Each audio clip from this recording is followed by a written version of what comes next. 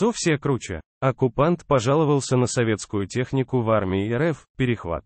Российский военный посетовал на состояние армии и то, что им не хватает вооружения на войне в Украине. Об этом сообщает РБК Украина со ссылкой на перехват, обнародовавший Главное управление разведки Минобороны Украины.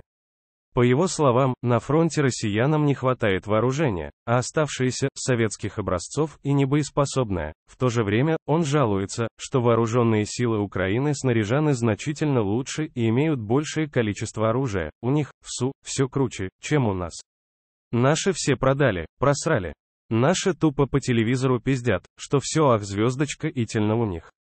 У них, в СУ, РЭД, 20, бледь, птичек в воздухе, а у нас один. Вот вся разница. Например, говорит россиянин, ранее сообщалось, что военнослужащий РФ жалуется на то, что была ликвидирована вся рота из его бригады.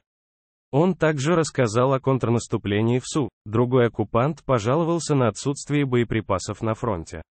Он также ожидал отпуска для того, чтобы не вернуться воевать. Срочные и важные сообщения о войне России против Украины читайте на канале РБК Украина в Телеграм.